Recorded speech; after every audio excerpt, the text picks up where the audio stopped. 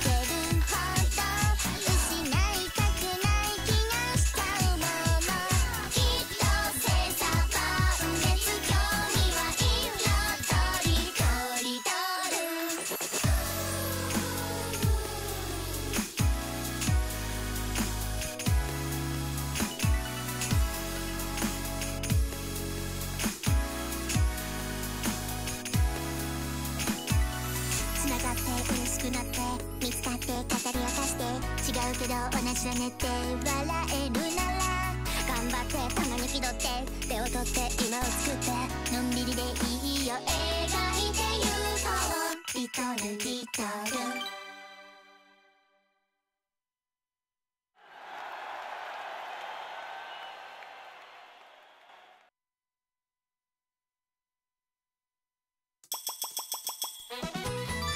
楽の楽しさうまく表せたと思います。